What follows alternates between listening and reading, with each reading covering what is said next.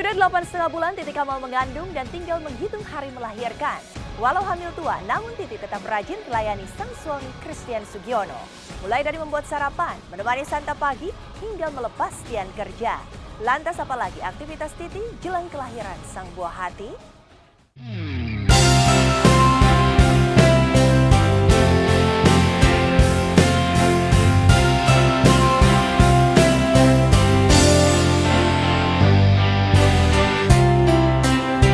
Setangkup kebahagiaan menyelimuti perasaan Titi Kamal dan suami tercintanya Christian Sugiono.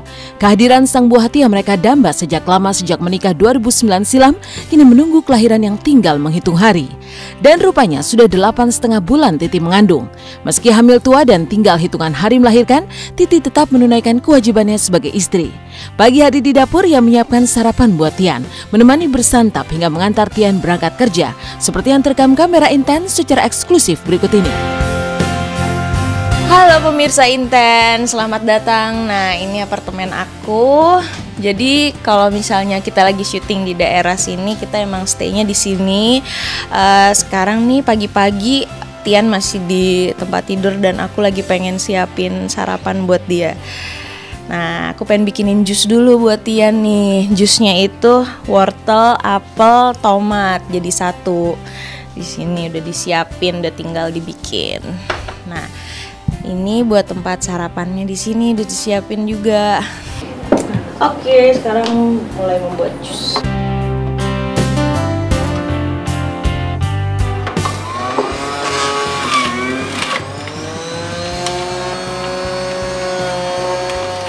Ini dia jus favorit Tian, jus wortel, tomat, dan apel.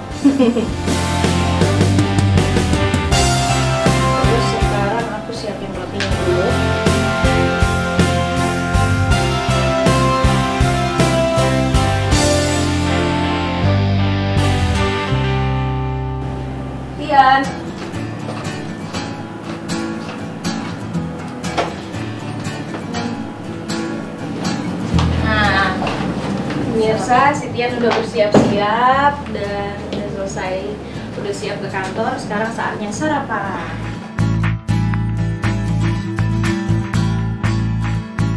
sarapan kita selalu kita nggak bisa sarapan yang berat-berat biasanya itu sarapan paling roti telur ayam kampung uh, buah ini selalu apel itu selalu ada susu sama ini jus jus namanya jus apa wortel jus wortel jus tomat sama apel di blender ini sehat banget gue makan kayak gini doang udah cukup sampai nanti jam satu biasanya baru makan lagi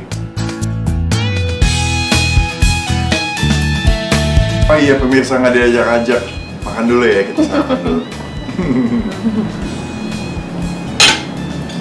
Kuningnya dimakan cuma sedikit. Ya, Soalnya katanya kalau kebanyakan kolesterol. Tapi kalau aku Tapi aku yang makan. butuh putih doang deh.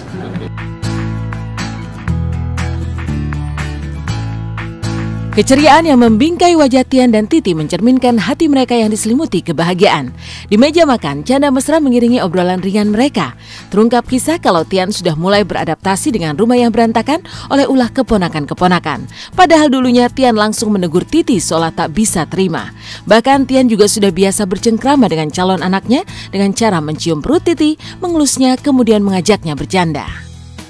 Bentar lagi kan Iya. kita sih seneng-seneng aja gitu ya. Hmm, apa namanya udah tidak sabar menunggu kehadirannya. Jadi dia eh, dia udah siap juga sih. Kalau dulu kan kalau ponakan datang ke rumah kadang-kadang coret-coret dinding atau apa dia kayak ini dindingnya kenapa nih gini gini gitu nanti kamu udah harus siap-siap kalau rumah berantakan terus ada apa Siap bu. eh, ada air di mana-mana misalnya Jadi jam-jam segini bangun nih, eh tuh dia. Kita dengerin dia mau ngomong apa. ngomong apa Apa? kamu emang biasanya ngomong apa sih yang Biasanya ngomong berdoa, semoga baby baik, sehat, bahagia. Cie bahagia dia mau kawin dan semuanya.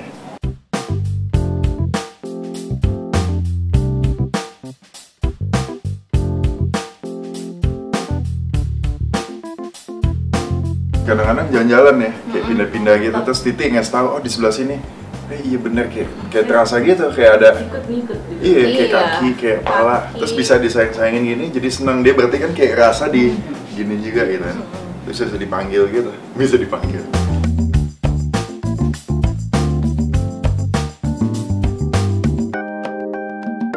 Usai mengajak bicara calon anaknya, Tian pun bergegas berangkat kerja. Titi pun mengantar hingga ke halaman dan melepas sang suami dengan untayan senyum dan doa. Sarapannya udah selesai dan sekarang aku pengen menyiapkan tas untuk dia berangkat.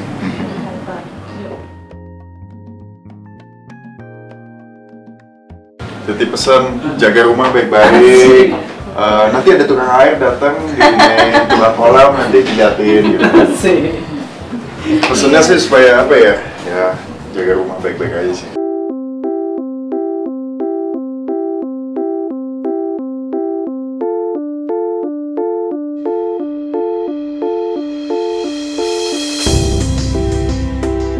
Mirsa, sekarang saatnya Tian pergi ke kantor. Makasih banget ya, tadi udah ngikutin aku dari nyiapin sarapan buat Tian, terus sekarang eh, ngikutin sampai eh, apa? Sampai kita pamitan Tian mau pergi ke. Saya harus mencari apa nafkah sebagai seorang suami yang menantikan persalinan. baby ya. Jalan dulu ya. Dadah. ya. Titi dan Tian tampak bahagia jelang kelahiran buah cinta mereka yang tinggal hitungan hari. Empat tahun menanti, baru hamil sekarang. Seperti apa perjuangan Titi dan Tian untuk mendapatkan momongan? Saksikan intens di segmen selanjutnya.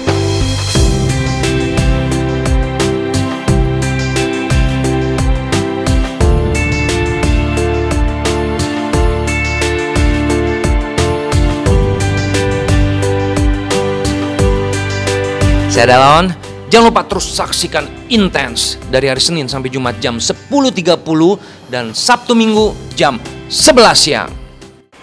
Kebahagiaan menyelimuti Titi dan Tian jelang kelahiran buah cinta yang sudah lama ditunggu-tunggu. Walau hamil tua, namun Titi tetap giat berolahraga agar lancar dalam proses melahirkan.